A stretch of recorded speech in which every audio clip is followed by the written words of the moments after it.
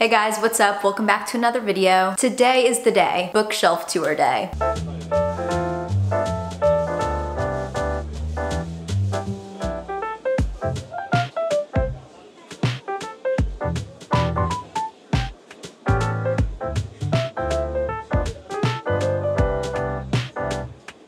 Today we're gonna go through every book on my shelves, how I organize them, and some thoughts here and there about the books. Okay, so these aren't technically all of the books I own. I do still have some books at my parents' house, but these are most of them besides the books on my TBR shelf, which I'll show you guys briefly as well. But all these books I have read, which depending on the book, could have been a good thing or a I wish I never glanced in this book's direction kind of thing. Do we start with the books on the shelves or the shelves? I'm thinking the shelves. Here is my main bookshelf, my prized gem. 90% of booktube shelves their books in the Ikea bookcase or a white cube bookcase, but I'm not like the other girls. I'm sorry. that was just too cringy even for me. No, but I wanted to go for something different, something that really spoke to me and would be something I would want to use for years to come. So I did spend a lot of time researching until I laid eyes on this beauty and I knew we were destined for each other. Come on, this bookshelf perfectly encapsulates my aesthetic. If I were a bookshelf, this would be me. Love the wood tones, love the woven siding. It's beautiful, stunning, amazing, breathtaking. Insert any other magnificent descriptions. I will link this down below in case you guys want to look at it. I will say that this was a little bit expensive, so I am dreading the day when this bookshelf undoubtedly will get overrun with books. And then I'm gonna have to figure out where else to put my books because I don't know if I'll be able to buy another one of these. Again, this was like an investment piece for me and something that I will have for decades. Enough about the bookshelf, let's get on to the books on it. My top shelf here houses my very small collection of nonfiction books. The size of the section compared to all the books in my other sections is comical. And then we have literary fiction on the right. Let's start on the left though. I'm a very, I guess you could call picky nonfiction reader. I want to be fairly certain that I will like a nonfiction book before reading it. First off, I have Crying in H Mart. Oh my god, Buddha. I'm not gonna take all of them out like this, but this book has one of my favorite covers. Oh, and I guess I got it for 50% off. That is probably why I picked it up in the first place. Great memoir though. Are you okay? Next I have Brain on Fire, which I read my junior year of high school. I actually annotated it. Not me saying I'm not gonna take the books out when I'm literally doing that. But if you can see that, wow. You know me, scholar. Don't look too close at what I wrote there because it's probably gibberish. I like sped read this. Don't get me wrong, I really enjoyed it though. You're all probably alarmed why I have this book on tyranny. Typically, I wouldn't own a book like this, but I had to read it for my women's and revolutions class. Now, I may or may not have actually read the whole thing, but for my professor's sake, uh, let's just say I did. And then the graphic novel Persepolis is actually the other book I'd read for that class, which it was actually really cool getting assigned a graphic novel for a class. Classes should do that more often. Hey, could argue that graphic novels are actually more effective than reading the same story from a book. Because with graphic novels, you're absorbing the information through two channels, through pictures and through reading. Next to my nonfiction, I have a Buddha. Some of you may remember I used to have a plant here. It pains me to inform you that I may have killed my plant. Yes, I am a plant murderer. I cannot be trusted with keeping plants alive. I don't know how to take care of them. They'll die either from getting overwatered or underwatered. So the long story short, I now have a Buddha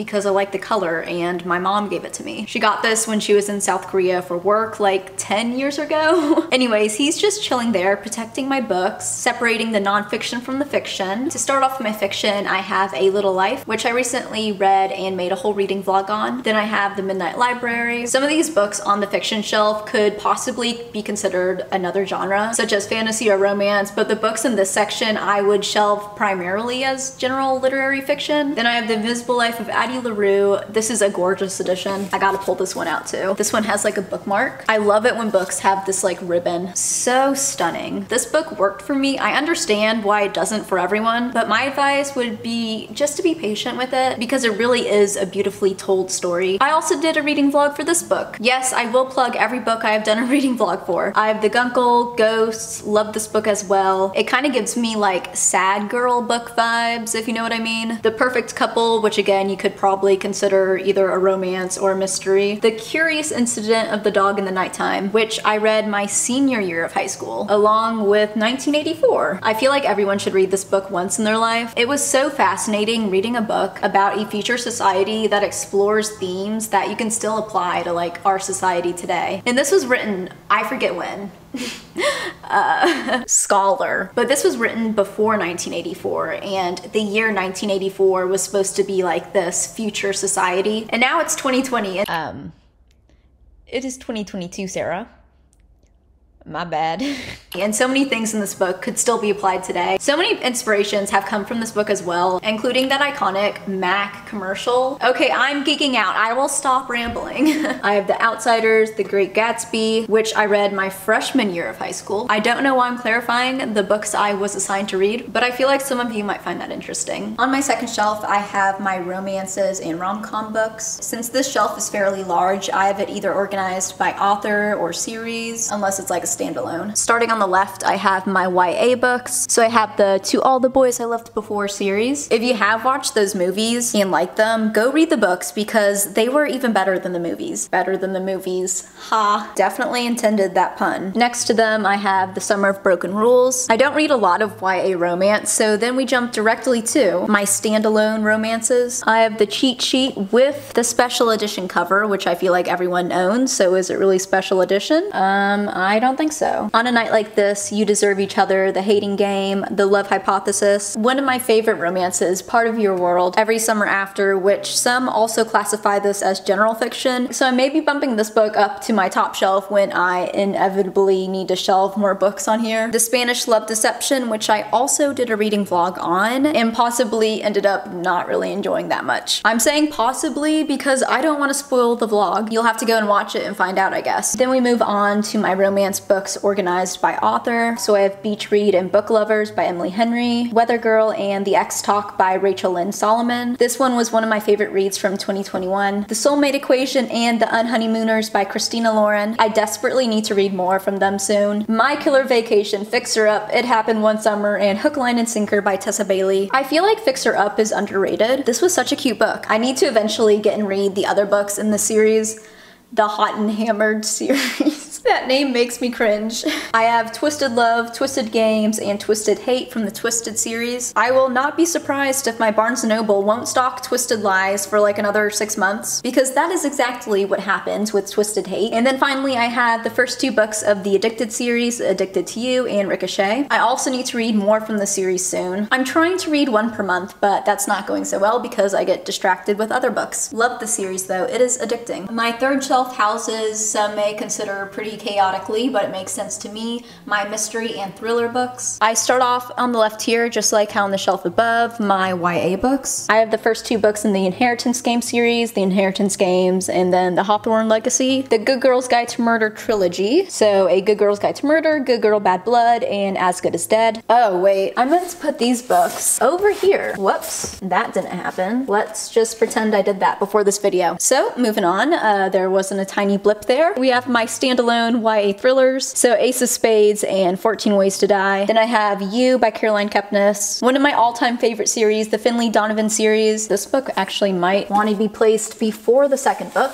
If you guys expected some organized shelves, you would be wrong. I have Finley Donovan is Killing It and Finley Donovan Knocks 'em Dead. These books are such wholeheartedly fun times. Then I have my J.P. Delaney books, Playing Nice, The Girl Before, and The Perfect Wife. We then move into standalone mystery and thrillers. So I have a classic, and then there were none. The Party, which is a book I actually read recently, so there's a little sneak peek for my September wrap up for you. I have The Long Walk, my one and only Stephen King novel. Correct me if I'm wrong, but I believe this is the first novel Stephen King either wrote or published, something like that. Reading this book felt like a long walk and not in a good way. I have The Last Mrs. Parrish, The Silent Patient, The Best of Friends, Blood Sugar, and then these thrillers are books I've picked for my book of the month. So I have The Night She Disappeared, The Golden Couple, Lock Every Door, and then The Last Flight. The bottom shelf holds Overflow, mystery and thriller books from the shelf above, and then my very small fantasy section. I am not a fantasy newbie per se. I read more fantasy than just these books, but those books are at my parents' house. I have A Flicker in the Dark, The Appeal, more like I wish I made an appeal to myself when deciding to read that book in the first place. Did that make sense? Don't know. Reckless Girls, Good Rich People, and The Thursday Murder Club. This little basket in the middle here just holds some annotating supplies. Like I have some highlighters and then these super cute sticky notes. I found these at Target on like their book section in cap. Moving on to my fantasy. I forgot the name of the series, but this is another great series. But I have The Daughter of the Pirate King and then The Daughter of the Siren Queen. The Goose Girl, which my brother's girlfriend gave to me. So thank you, Camille. Cinderella is Dead. My fucking gosh, that book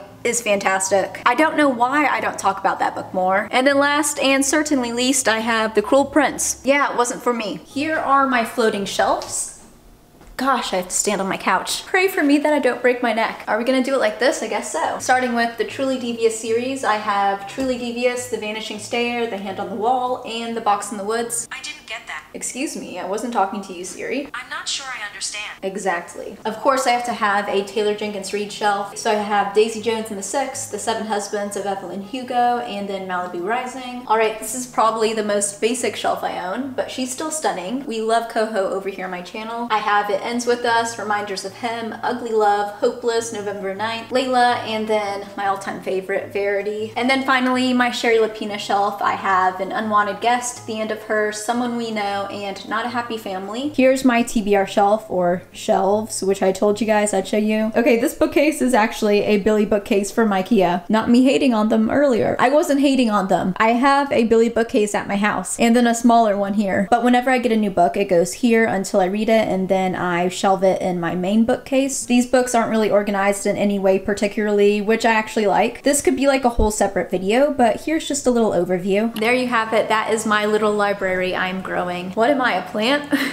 of course, my bookshelf is gonna change over time as I add more books to it. So eventually I will probably have to do another updated bookshelf tour. I've mentioned this before, but the dream is to have my own library room with floor to ceiling bookcases, comfy chair, coffee bar, sliding ladder, all of that. That will not be for a while, like a while while 20 years at least. I hope you guys enjoyed this video. Let me know your thoughts on my bookshelves down in the comments below. I like them i would hope so. If you guys enjoyed this video make sure to give it a thumbs up. It really does help me my channel out a lot. You can also comment interact subscribe all that fun youtube stuff. I'd really appreciate it. I hope you guys are having a fantastic day and i will see you in my next video. Bye